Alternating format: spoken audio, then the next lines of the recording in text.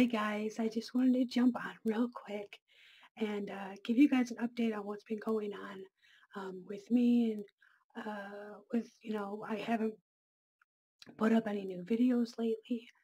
Uh, and there's reasons for that. You know, all of us got sick. I'm still sick. Besides that, I told you guys before that um, I was coming up on some busy months because I had things going on, you know, at home that uh, we're making some changes and doing some things. So we're kind of busy with that.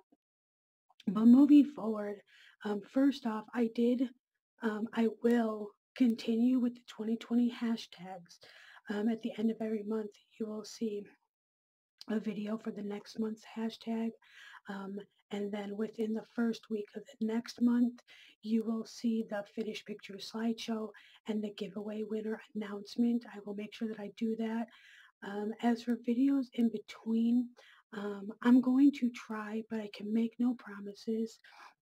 And the reason for that is we're still, uh, we're, Xander still has stomach issues and we're trying to deal with that and taking him to different specialists.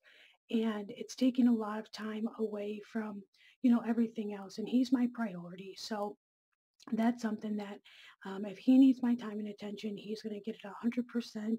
And coloring and YouTube and all of you guys, I love you all, but you would all be put on hold, you know, for his needs. So that's one of the biggest reasons why I haven't been around too much. We've been dealing with that, trying to get him the help that he needs. Um, so far, everything is going really well. I've had a lot of you, you know, ask where I've been, what's been going on. And uh, so I figured I'd jump on really quick. I'd fill you guys in and tell you over the next few months, it's going to be, uh, I'm going to be pretty scarce uh, dealing with him, dealing with other things that we have going on here.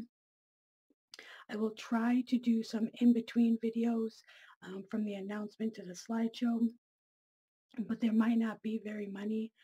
Uh, but I do appreciate all of you guys who are participating. Uh, I know the other girls are also helping me keep track. Uh, they kind of know what's been going on in my life, so uh, they're they're great. And I go on to Instagram and I pull all the pictures and I see all the work you guys have been doing, and it's absolutely great to see um, all the finished pieces. So thank you to all of you who have been participating. Um, again, I'm going to finish the year off. Um, and there will be, like I said, there will be a giveaway every month and um, things like that.